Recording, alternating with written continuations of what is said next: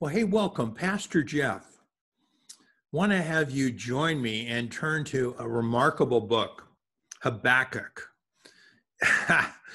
Even to, uh, not easy to pronounce or spell it, but a man of God, a prophet. And he's got a word for today. I'm going to look at chapter three. And there are 19 verses in there. We're going to end on a powerful verse that talks about joy. And that's my theme today. In the midst of everything that's going on, you're in the middle of shaking.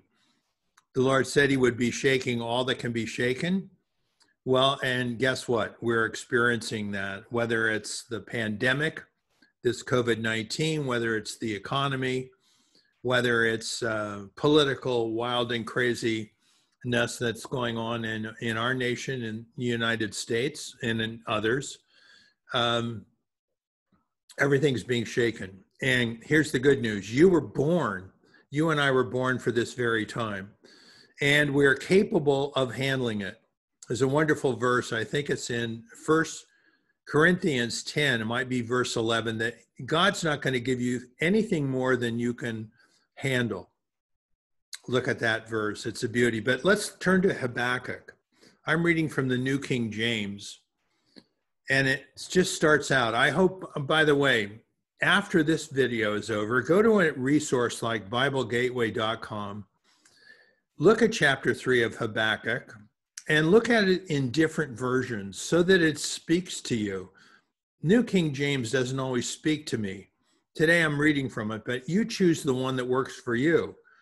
Could be the Amplified, it could be the Children's Bible, the Jewish Bible, the Passion, um, the message, you know, just the King James, have it sink in because this is a, a statement of hope at a time of real desolation.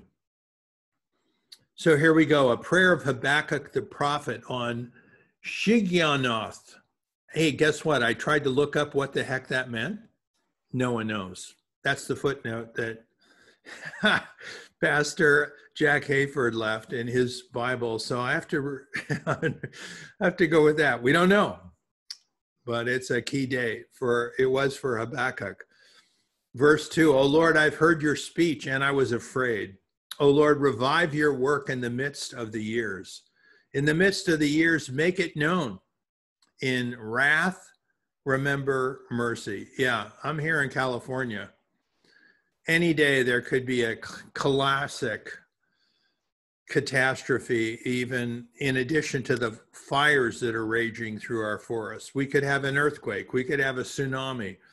Um, we are certainly under judgment for the wicked laws that our legislature has promoted, including no fault divorce, same sex marriage, um, rebellion against the United States by calling on ourselves a sanctuary state changing the law from a for a pedophile that you may not now be called a pedophile. If there's a certain number of ages uh, it can be considered something less than pedophilia.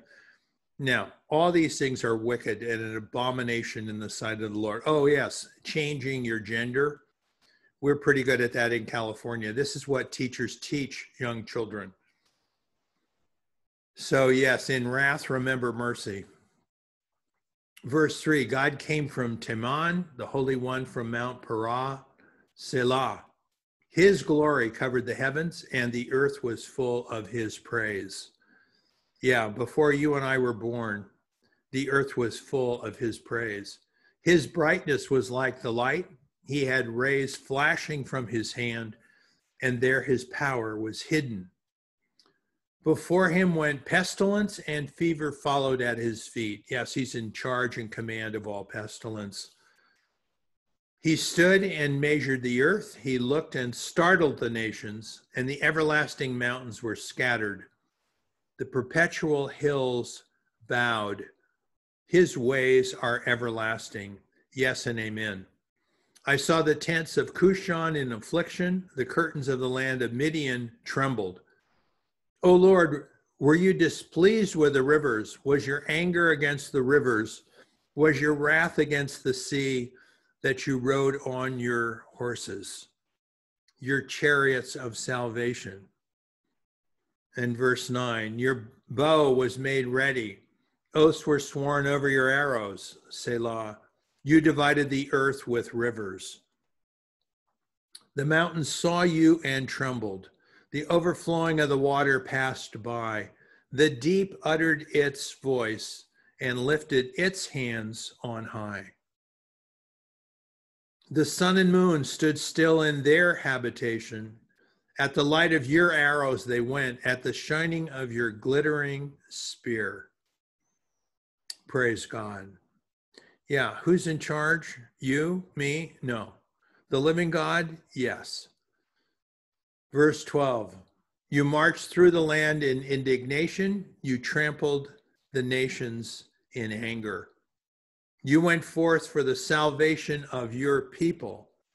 Yes, and if you've made a decision today that Christ, Lord Jesus, Messiah, is your Savior, that He rose from the dead, you've confessed it to others, yeah, you have eternity with Him.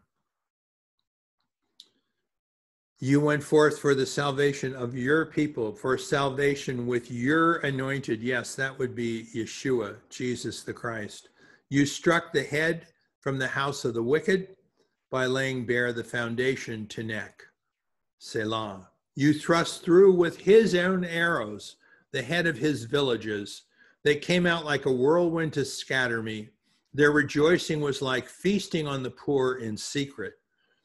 You walk through the sea with your horses through the heap of great waters. And then verse 16 When I heard, my body trembled, my lips quivered at the voice. Rottenness entered my bones, and I trembled in myself, that I might rest in the day of trouble when he comes up to the people. He will invade them with his troops.